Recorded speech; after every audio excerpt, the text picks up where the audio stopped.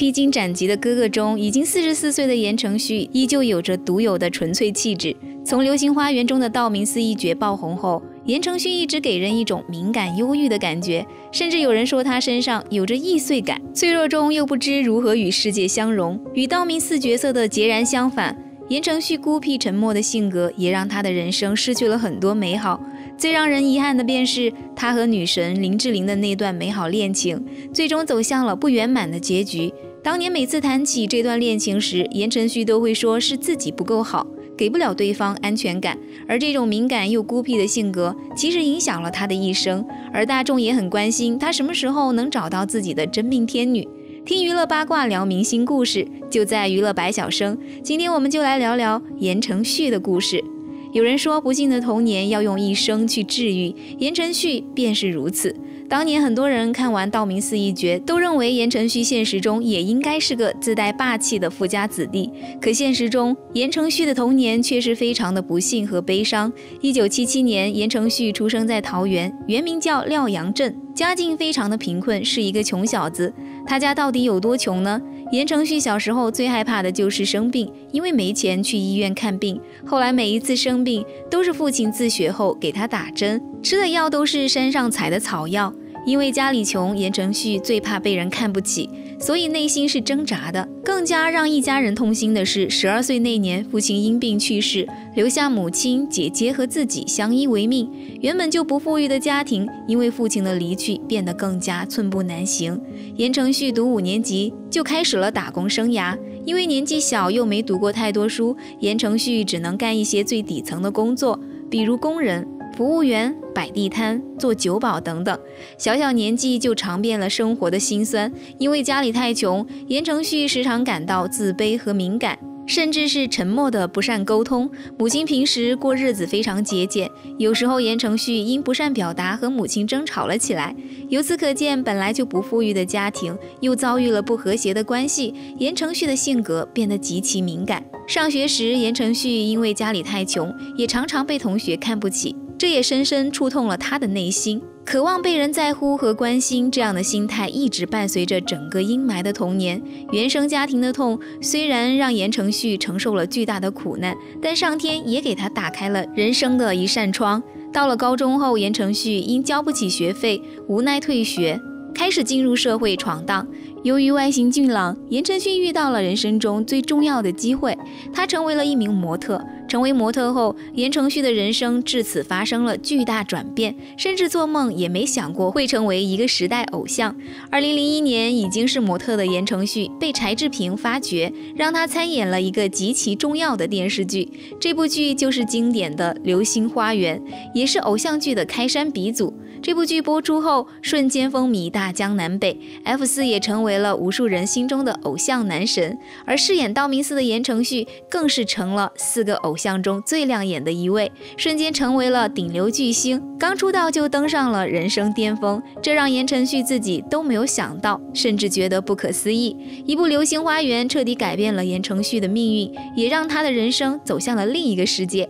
凭借道明寺一角的爆红，言承旭开始努力朝着自己的时代偶像之路走去，但似乎并不是那么顺利。因为从小就自卑的原因，言承旭爆红后，甚至觉得自己配不上这一切成绩。有很长一段时间，言承旭依旧是不自信的。童年的不幸经历再次成了他人生的枷锁。其实不是谦虚，我只是觉得自己真的少很多东西。所以在此后的演艺生涯中，言承旭给人的感觉始终是若即若离，而且非常神秘忧郁。因为《流星花园》太过成功，所以言承旭也很难迎来演艺事业上的突破，转型很难。再加上性格上不是那种野心勃勃之人，言承旭很少在有。经典作品出现，开始处于半隐退的状态。这样的性格不但影响了事业。日后更直接击败了自己的爱情。后来，言承旭每次走进大众视野，还要和他那段经典恋情有关。在言承旭做模特的时候，就结识了女神林志玲。那时候，两人同属于一家模特广告公司，相识于微时的两人，因为工作原因渐渐产生了感情，最终走到一起，彼此相互取暖。后来，言承旭因为拍摄《流星花园》爆红，两人的绯闻也开始不胫而走，但彼此没有选择公开。不公开的原因，可。可能正因为言承旭已经是当红偶像，所以只能转向地下恋情。尽管两人爱得小心翼翼，但爱情的踪迹一直随处可见。二零零二年，两人被拍到一起看电影；二零零三年，两人又被报道进入某大厦待了九个小时。种种迹象都足以表明，两人的恋情一直处于非常甜蜜的状态。后来，林志玲在二零零四年因为拍摄了一条广告而走红，身价暴涨，成了台湾第一美女。两人都相继走红，所以恋情也就一直没有公开，直到二零零五年才阴差阳错公布于众。那一年，林志玲手机拿去维修，结果她和言承旭的很多亲密照片被曝光。就这样，两人的恋情算是彻底被大众知晓，最终成了一段世人皆知的爱情童话。他曾说：“我的本性里面其实真的很孩子气，对方真的太完美了。”自己会自卑。这段恋情被曝光后，金童玉女走到一起非常般配，也纷纷得到了大家的祝福。可原本可以大方公开的恋情，在两人这里却依旧变得藏藏匿匿。言承旭和林志玲还是没有大方承认，而且林妈妈总是希望林志玲嫁一个富人。她给女儿介绍对象不是台南的望族。政府要员的翻译就是大龄富商。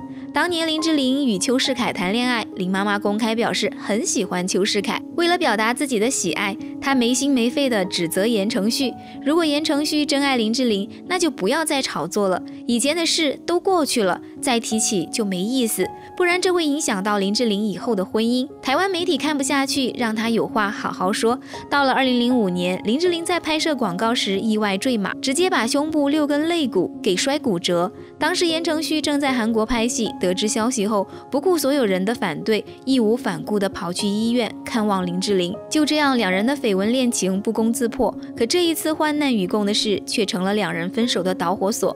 言承旭见到林志玲，心疼不已，却又不知怎么关心，甚至连拥抱的姿势都弄不明白。两人只能无奈大哭起来。随后不善言辞的他，原本想安慰，却稀里糊涂地说了一句：“你怎么这么不会照顾自己？”尽管本意是好的，但彼此却因此有了一些隔阂，甚至是拧巴。或许是太过爱彼此，才导致了感情的若即若离，让对方没有安全感。两人感情渐渐滑到了低点，最后以分手结束。后来言承旭回忆这段经历时，在书中这样说道。公主生病的时候，王子在打仗。王子说他不管了，他要放下战争去看公主。但是战友说外面枪林弹雨，所有人都在看你的动静，你现在去是自投罗网。王子还是逃了出去，到了公主的地方，推开门，哽咽着，连对不起都说得支离破碎。他连怎么抱她是最好的姿势都弄不明白，终于跪下来大哭。女孩也哭了，她不明白为什么两个相爱的人在受苦的时候想要接近会那么疼。两人的分手或许是外界的压力，但更多是言承旭敏感与自卑的性格所致。他很爱林志玲，但只会做却不善言辞，反而会让对方感受不到爱意。越相爱却越伤害。我让他离开是因为我真的很爱他。你如果真的很爱过一个人，应该就会了解。二零零六年两人分手后，言承旭在演唱会特意感谢了生命中非常重要的女人，就是林志玲。转眼多年过去，林志玲登上《快乐大本营》，现场读出了言承旭写的那段王子与公主的故事，她眼含泪水，并感到遗憾。没过多久，言承旭也上《快乐大本营》。他说来的原因是因为林志玲来过。提起这段感情时，他自责地说是自己不够好，还没有能力给人家安全感。两人在一起这些年，从未真正指名道姓、大胆公开官宣过恋情，这也算是一种遗憾。时光荏苒。二零一九年六月六日，林志玲突然宣布结婚，一时间登上了各大热搜。林志玲的突然结婚让很多网友难以接受，准确说不能接受新郎不是言承旭。当时有人把林志玲结婚的消息告诉了言承旭，他只是送上了祝福，便转身默默工作去了。但内心中的五味杂陈，或许只有他自己清楚。